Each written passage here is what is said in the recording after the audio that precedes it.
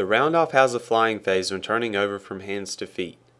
Gymnasts must begin to push off the floor before the body has moved too far beyond the vertical. This quick arms repulsion is known as blocking, and the subsequent motion to the feet, frequently known as snapping down, can also be defined as a hollow single body unit turnover from hands to feet. Practicing round-offs over a mailbox or another soft and safe gym object helps gymnasts to focus on flying off the floor, instead of just bringing the feet down with the hands still down on the ground. Besides focusing on the block and turnover, gymnasts can also keep working on hurdles, moving up and forward and some of the other technical aspects. Right from the block into the flying phase, the gymnast aims to change the body position from straight to hollow. This gymnast needs to hollow her hands to feet round off turnover more.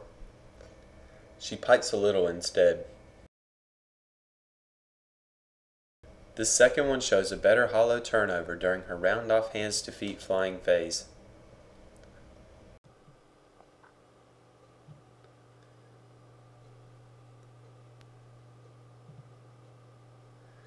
Push off floor begins. Hollow flying phase.